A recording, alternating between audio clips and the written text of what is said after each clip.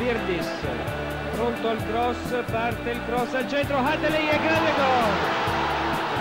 E questa volta l'inglese non ha perdonato. Azione maiuscola da parte del Milan. Già prima Hadley aveva impensierito il Venga intanto rivediamo.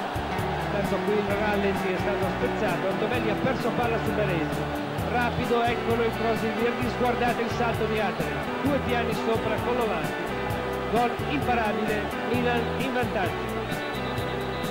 2 a 1 per i rossoneri, mentre vedete la faccia molto preoccupata di Ilario Castaniere. Ed ecco questo primo piano di Attila Atele.